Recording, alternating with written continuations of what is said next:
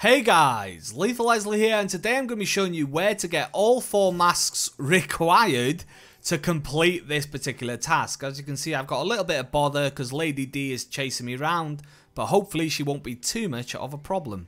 So the first mask we have is the Mask of Sorrow. Now you already pick this one up as you play the game. Whoa, that's a bit freaky. Um, so you definitely going to have this one in your inventory. You can't miss it. I'll show you a little clip now of where you pick it up just so you can be reminded. So this one will already be in your inventory. Now as for the other three masks, I'm going to show you exactly where they are on the map to begin with. Then I will go and show you where they are in the game. So to start with, we're in the Hall of Four. Then we go into the main hall, you need to go upstairs. And then at the top of the stairs, there's one either side of the stairs. So you go to the left, through to here, Hall of Joy. You go to the right, where you go to the Hall of Pleasure. So just follow these ones easily and that will be three out of the four masks done. And for the final mask, you need to go through the attic up onto the roof here. You need to go around this area here, which is this area here.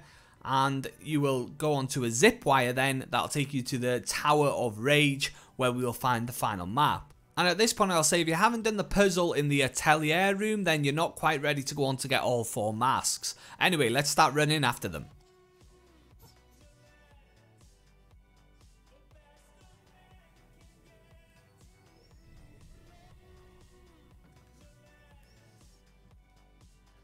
Just for reference again here, we're back at the top of the stairs.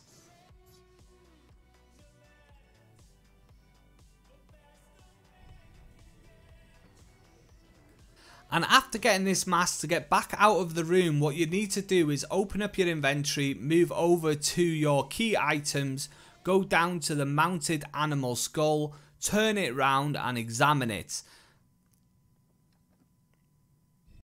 Once you've done that, you can stick the animal skull back in place of where the mask was.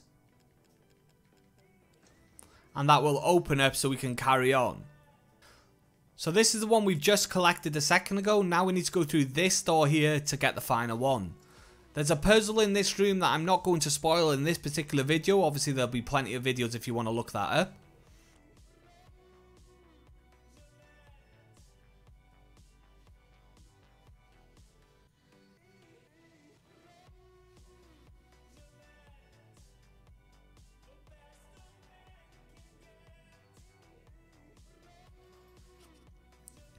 And this is the final mask that we need, the Mask of Rage. So now we're fully equipped on all the masks.